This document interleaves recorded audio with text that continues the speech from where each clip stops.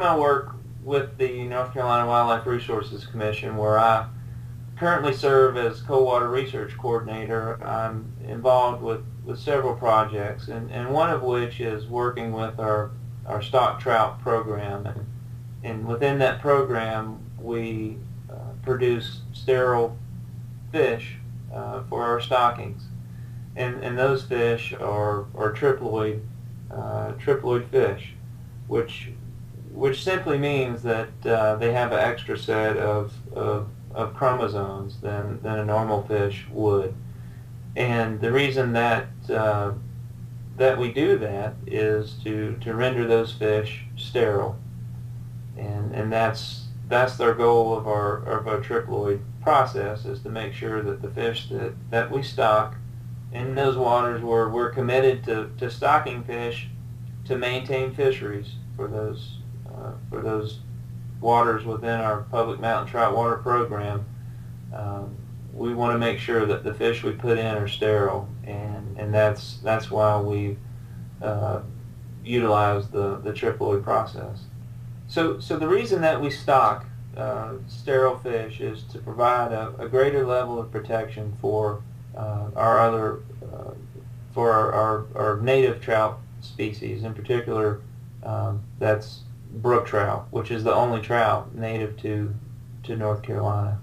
And by stocking sterile fish, it, we have the, the ability to, to, to make sure that if the fish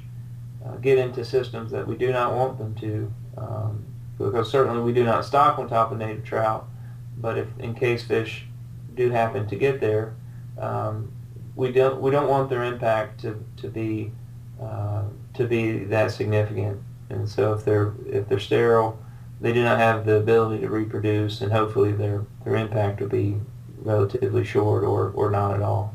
Since AAA trout are sterile, we maintain fertile brood stock and so once once fish are spawned, shortly after the uh, the eggs are, are fertilized, um, triploids are produced uh, via uh, pressure. And so uh, we we have uh, two machines that uh, we put fertilized eggs in, and depending on how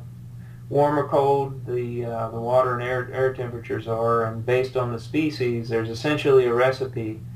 that based on the, the time after fertilization and those, those temperature variables, um, we apply a certain amount of, of, uh, of, pressure to the eggs. And it forces the retention of a second uh, polar body uh, during, during uh, meiotic division. And so that's, that's how we do it. And we maintain those fertile fish so that uh, we can continue to, to produce offspring uh, each year. So as the cold water Research Coordinator for the North Carolina Wildlife Resource Commission, uh, I have the opportunity to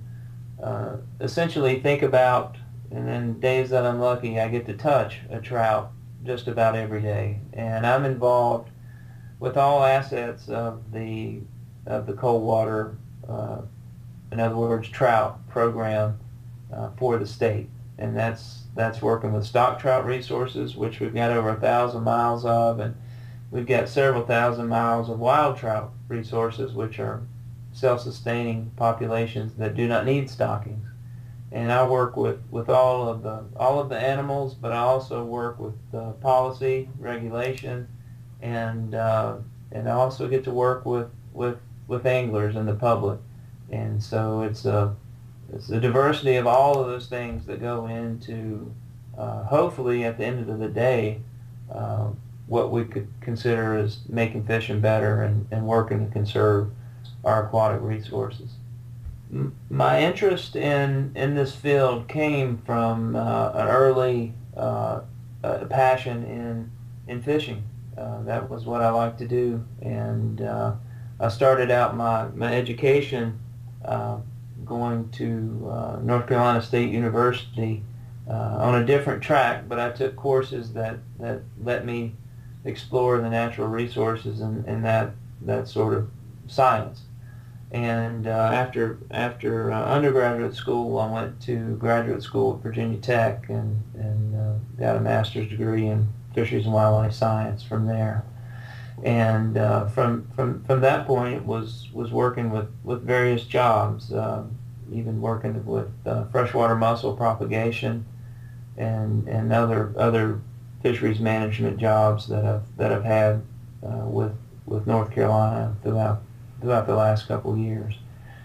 The, the probably the best advice I have for anyone interested in this career is to talk with folks. Uh, the individuals that